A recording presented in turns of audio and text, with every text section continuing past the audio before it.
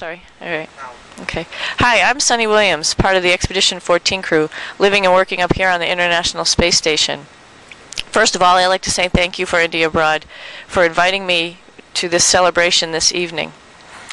It's quite an honor to be part of a community of Indian Americans, and even more overwhelming to be considered a representative of the things that you stand for peace, cooperation, and the freedom to dream. I feel extremely honored and privileged to be living on the International Space Station because it epitomizes the values that you stand for. So I think it would be most fitting if I take you on a little tour of our house to show you what humans can do when they work together.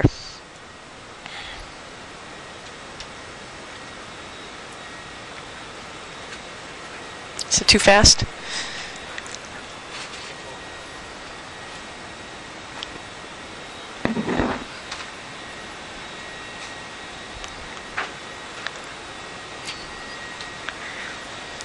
So here we are in the U.S. laboratory. Its name is Destiny.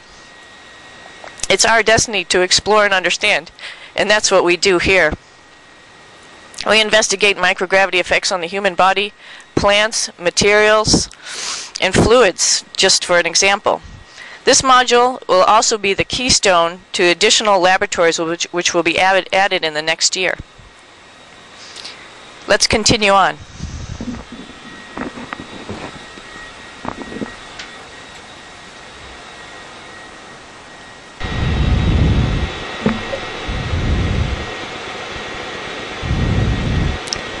Going aft, we enter this pinkish module, which we call Unity.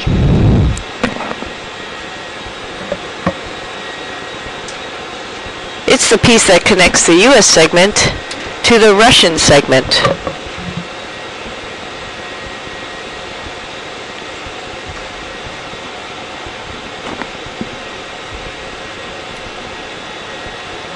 A symbol of the unity of two previously opposed countries now working together. To the starboard or right side of unity is our airlock which we call Quest. It represents our quest to, to challenge the limits even further to venture out into the vacuum of space. As you can see our spacesuits in the foreground and further outboard is the hatch in which we go out into space. From here we challenge ourselves and take risks to further our processes and theories.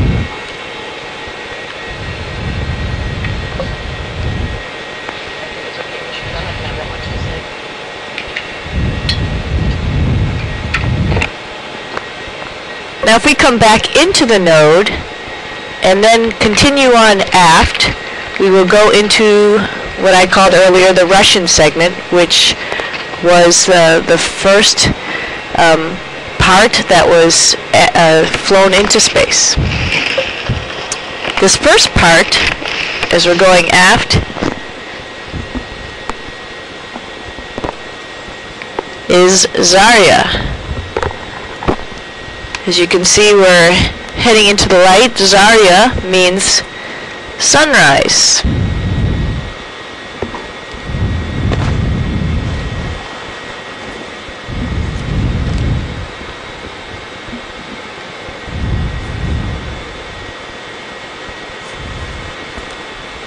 Zarya was the first module of the International Space Station, symbolizing a renewed spirit of cooperation in space adventure. Today she's a little bit like a closet and holds all of our food and some of our supplies. As we continue aft toward the next Russian module, we're going to take a quick stop at Pirs. Pirs is a Russian word and an English word, which essentially means pier or dock.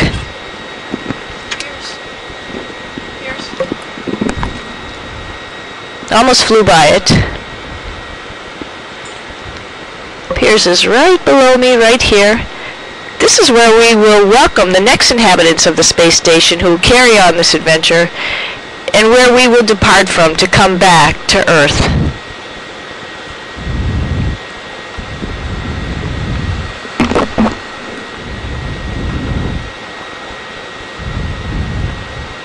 Then on to the last module, which is sort of like our living compartment.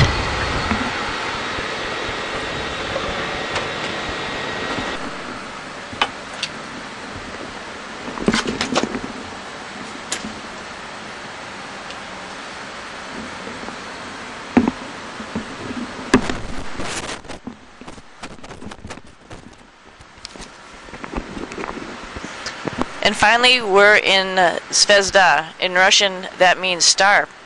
This is our living compartment. It's where we spend time together as a joint crew, people from all over the world, eating together, talking together.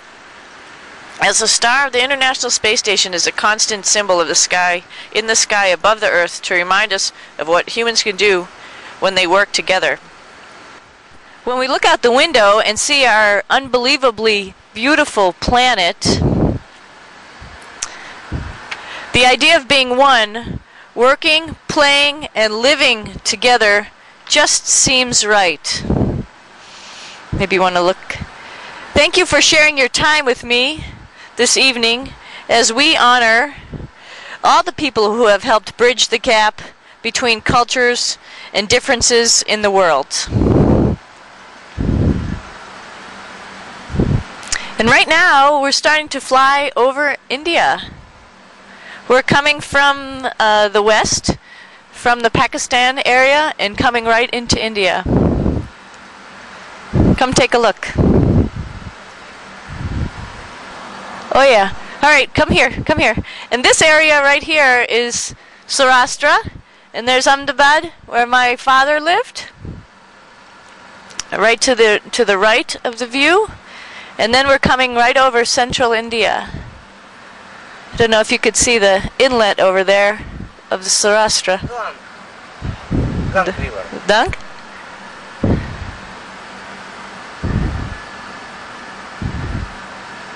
So this is the middle of India, and I usually describe it as very colorful because it's green and pink. Very nice. Very nice lakes and rivers.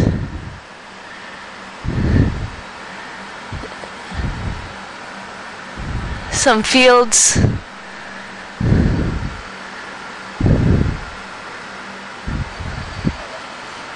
And elephants. Central India right now.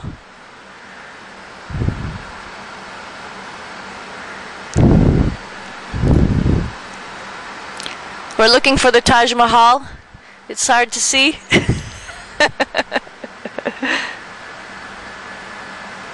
Little bit foggy. yeah. As always, by the way. yeah, it is. It's a huge contrast between China and India. And Himalaya is a border Yeah, between very clean and transparent air Right. and slightly foggy foggy. here in India. I don't know. Maybe because humidity in there. Yeah, south. It's pretty though. Purpley looking now. Purple and darker green. Oh, there's a big city right there. Yeah. What is that? Let's see. Let me get a little pen.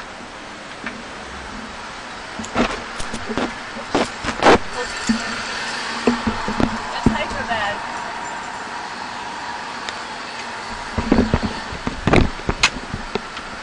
Coming up on Hyderabad, that's the big city right there. You can see cities. They're a little bit more gray. You can see it right on the river, right there. The mountains on the right.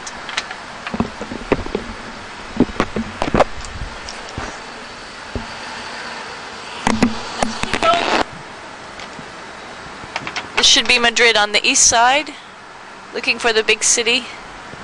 It's probably the one right below in the cove. Right there.